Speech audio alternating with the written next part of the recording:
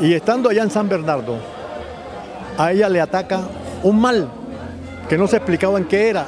Inquieta, eh, sí, eh, no, se hallaba, llorando. Bueno, no, esta niña está muy mal. Mal, mal, mal, mal. Entonces dijeron, no, yo recomiendo que esta niña la bauticemos. Porque se nos puede morir. Y la bautizan en San Bernardo. Cuando ya pasó pues el peligro, eh, decidieron irse y se instalaron en Icononso y allí viven hasta el año de 1944, 43, 44, cuando toda la familia decide venirse a instalarse y radicarse en Bogotá.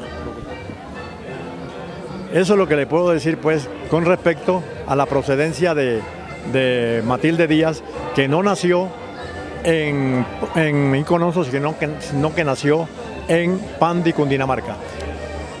Aparte de que hay una casa donde hay una placa que dice, aquí nació Matilde Díaz. Cuando ella canta, hay una canción donde ella dice, soy, soy, soy de Icononso, soy, soy, soy de Icononso. ¿no? Pero ella es para complacer pues a la gente que lo ha conocido como que es de, de, de Icononso. Pero realmente ella nació fue en Pandi. Claro que sí. Y ese milagro de la vida de Dios que le dio el fruto de Gloria María, de Lucho y la maestra Matilde Díaz, porque no podía concebir eh, hijos, sí. no podía quedar en embarazo y la historia se va hasta Celia Cruz, que se la lleva a Cuba, ¿no? Sí, ellos viajan por primera vez invitados a un, a un festival iberoamericano de música que se celebraba en La Habana con motivo de 50 años de independencia de Cuba. Esto fue en mayo de 1952. Cuba se independiza definitivamente de la tutela de Estados Unidos en el año de 1902. En 1952 son 50 años y ya están celebrando. Y dentro de esa celebración de independencia está el Festival Internacional eh, de Cuba que lo organiza Ernesto Lecuona, este señor que está aquí. Ernesto Lecuona, cubano, grandísimo bolerista. Sí. Y entonces allá llega, él, él, él, tenía por costumbre que cuando viajaba internacionalmente, por ejemplo, que viajaba a Buenos Aires, que viajaba a Cuba, México, él no llevaba orquesta. Lo único que llevaba era a la, a la cantante. Pero él ya tenía mucho prestigio en, en, en, en, la música. Total, pues que él, por ejemplo, cuando va allá a Buenos Aires, en el año 40 y, 46, cuando va a Buenos Aires, en este año allá hay dos grandes músicos argentinos que son Eduardo Armani y Eugenio Nobile. Entonces, con músicos de Eduardo Armani y Eugenio Nobile, forma la orquesta de Lucho Bermúdez. Mm. Y allá hace como 50 grabaciones de música que pegó y todavía se oye. Seguro. De, de, de, Calamarí, querida, es, eso, eso, eso se grabó por primera vez pues allá. Eh, eh, ¿qué, eh, la, Marbella, Marbella, mi ciudad porteña, eso, eso se, se grabó allá con músicos argentinos, ¿no? Cuando llega a Cuba, allá con músicos del maestro Bebo Valdés, sí. ¿no? forma una orquesta y graba. ¿no? Cuando llega a México, con músicos de la orquesta de Rafael de Paz. Entonces allá lleva nuestra música, no, no solamente la lleva y la graba. Decía, él, él mismo decía, cuando yo llegué a Cuba y tenía la orquesta, ¿no? Me encontré yo que el que estaba en el piano era Ernesto Lecuona. Mm. Y él me miraba pues esperando que yo le diera la orden. Es decir, que me quedaba impresionado de ver que eh, Lecuona ya se portaba prácticamente como una persona pues como un músico humilde esperando las órdenes de, de nuestro Lucho Bermúdez. Lucho Bermúdez, sí, como no. Increíble. Pues aquí nos podríamos quedar mucho tiempo hablando con el maestro José Portacio de todos estos libros, de cantidad de historias y de, también de periodismo colombiano, de la música nuestra. Pero ¿por qué no tocar un poquito también de la Sonora Matancera? Aquella Sonora Matancera que no nació con ese nombre, sino con el nombre Liberal. de la Tuna Liberal, por allá en los años 20. bajo la claro que sí, en 1924, bajo la tutela de Mr. Seagal, que era el dueño de Chico. cierto. Pero fue el maestro Rogelio Martínez quien realmente dirigió la agrupación hasta el final. Sí, señor. El que se jactaba de que la verdadera historia de la Sonora Matancera la iba a escribir él. Murió de 90 años o más y no la escribió. No la escribió. Exactamente. No, no, no le Sí, quedó tiempo. Sí. La Sonora Matancera es un caso de, de música y de músicos sui generis, porque resulta que no ha tenido contendor. Ha habido muchos que se han acercado, pero como la Sonora Matancera no habrá dos de ninguna manera. Sí, comenzó con el nombre de Tuna Liberal, se llamaba Tuna Liberal, porque en ese momento gobernaba el Partido Liberal de Cuba. Y este Partido Liberal había buscado a la Sonora Matancera para con sus candidatos hacer campaña política. Correcto. Eh, entonces tenía ese nombre, era por, por eso. Cuando ya pasó la campaña y el general Gerardo Machado, que era el dictador de Cuba, había caído, entonces decidieron cambiar ese nombre de Tuna Liberal y había entrado allí a trabajar un, una- un cantante que tenía una voz muy, eh, muy aguda, Ok. como soprano. Entonces le pusieron, la Sonora tenía en ese momento tenía seis integrantes, el sexteto Sonora, eh, el sexteto soprano. Sexteto soprano. Con el tiempo pasa a llamarse el conjunto Sonora Matancera. Ahí van tres nombres. Sí, como no.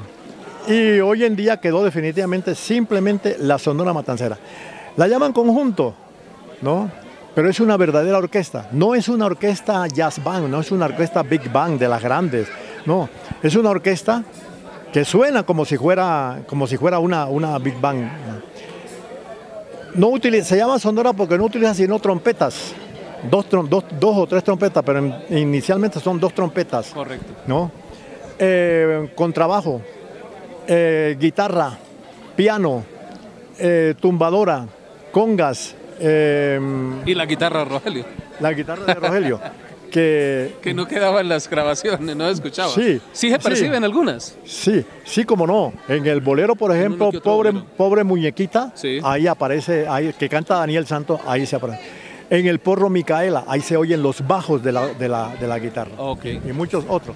Yo precisamente en mi libro de la Sonora Matancera digo, la guitarra de Rogelio Martínez sí suena. Sí y ahí le mostré. Ah, bueno. Le, le- le muestro ahí con pruebas. sí. En el disco tal, aparece en tal parte, después esta frase, ahí se oye. Sí. Eh, la, la Sonora, pues, cuando, cuando yo voy a escribir ese libro, ya existía uno que escribió el maestro, el doctor eh, Héctor Ramírez Bedoya, una- ane- un anestesiólogo, un furibundo fanático de la Sonora Matancera, que hizo la investigación más grande de- sobre la Sonora Matancera. Sin embargo, pues yo vi que había necesidad de escribir algo más.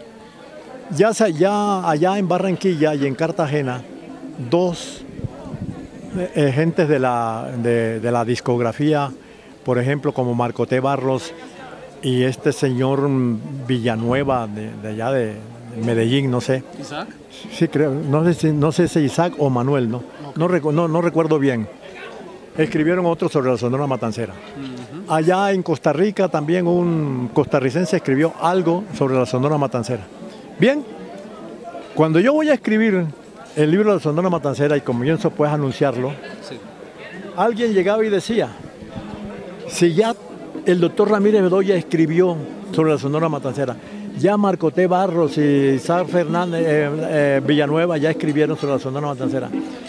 Eh, Saldívar de Costa Rica escribió sobre la Sonora Matancera. ¿Qué más va a decir José Portacio? Y yo, lógicamente, enfoqué el libro para lo que no habían dicho.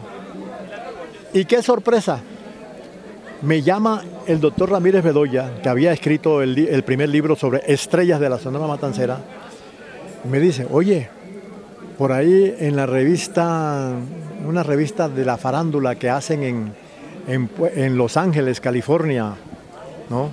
No recuerdo cómo es que se llama en este momento. Escribieron el doctor Cristóbal Díaz Ayala, abogado, melómano, que donó su discoteca a la Universidad de Miami, escribió sobre el libro tuyo, ¿no? Y escribió en letra chiquita. Y en letra chiquita eso abarca más de una página, ¿no? Y me extraña porque él nunca había escrito como te escribió sobre ti, sobre el libro mío de Estrellas la Sonora Matancera. Qué bueno. Y él comienza precisamente diciendo lo que, lo que me criticaba. Dice, no, si ya se escribió tal, eh, ¿qué, va a escribir José Portacio?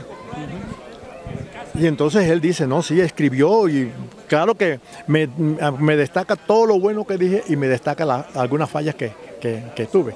Así se hizo pues el libro La Sonora Matancera y hoy en día pues está agotado no tengo sino la edición, el, mío, claro que, me corresponde. Ya, tendré eh, ese libro seguramente en una nueva edición que el maestro José Portacio lance al mercado.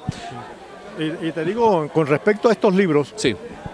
resulta que estos libros se encuentran en, las bibliotecas de las universidades, Universidad Nacional, Universidad del Rosario, Javeriana y la eh, Universidad de Madrid, eh, Quito, eh, Santiago de Chile, en La Habana, en, todas partes.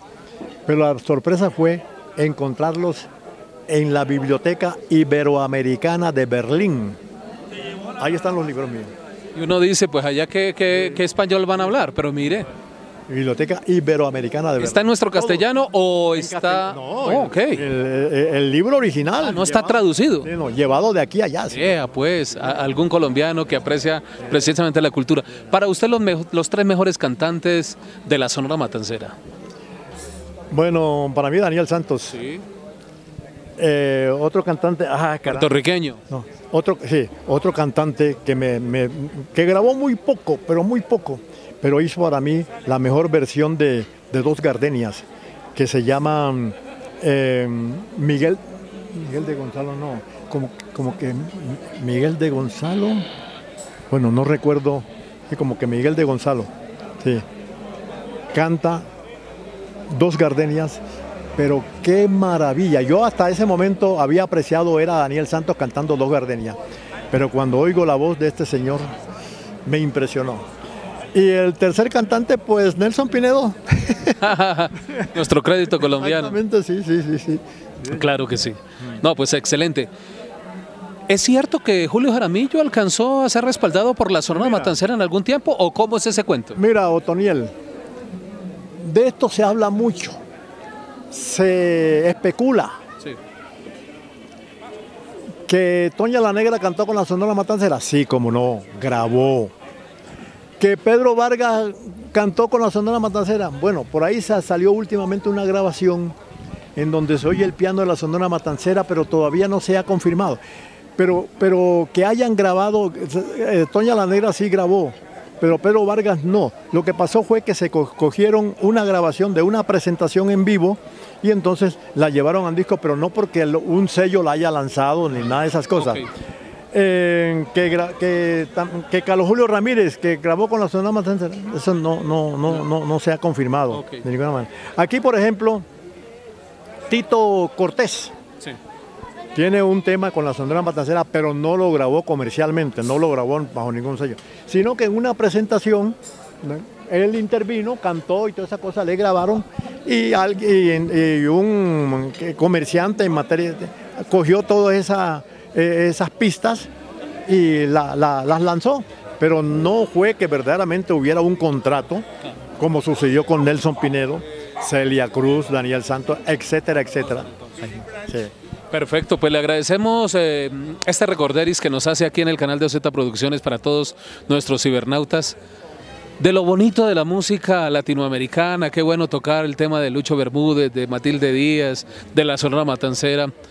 Y esto da mucha tela que cortar para más adelante. Felicitaciones, don José. y te agradezco que me hayas dado la oportunidad de poner en conocimiento eh, todas estas verdades. Con mucho gusto, con mucho cariño y bienvenido siempre a estos especiales del canal de OZ Producciones. Felicidades. Muchas gracias nuevamente y ojalá tenga la oportunidad de vernos nuevamente y de eh, conversar un poco más ampliamente porque lo que hemos conversado ha sido muy poco. Cierto. es don José Portacio Fontalvo escritor colombiano que lleva, por supuesto, eh, la música a través de las letras para todo el mundo, para que conozcan la historia de ellas. Con gusto y cariño, en el canal de Z Producciones, Otoniel Zapata Murillo. Hasta la próxima.